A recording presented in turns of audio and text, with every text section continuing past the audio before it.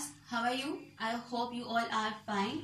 Today we will start the English work. हम start करें English का work. Date है first April and the day is Wednesday. You can also please take out the page number thirty one.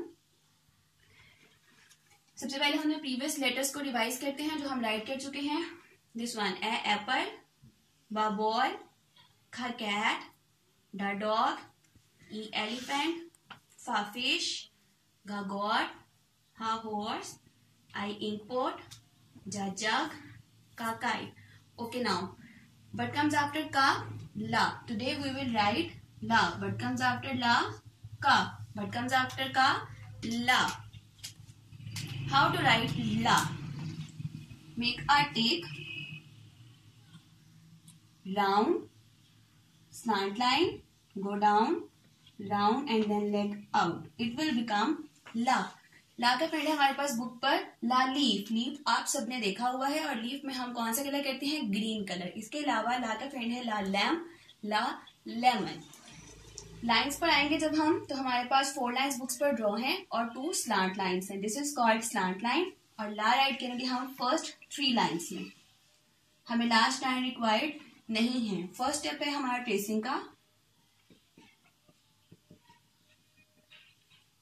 Put the pencil on first dot one by one dot को dot से join करेंगे।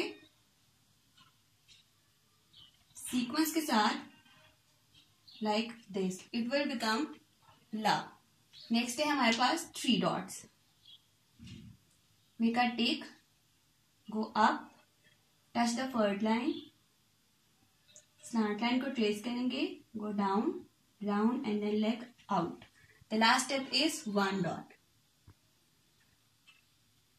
make a tick go up touch करेंगे first line को go down loop first second line के mid में आएगा go down round and then leg out do not write like this अगर आपके पास वन डॉट है तो आप ऐसे नहीं लिखेंगे।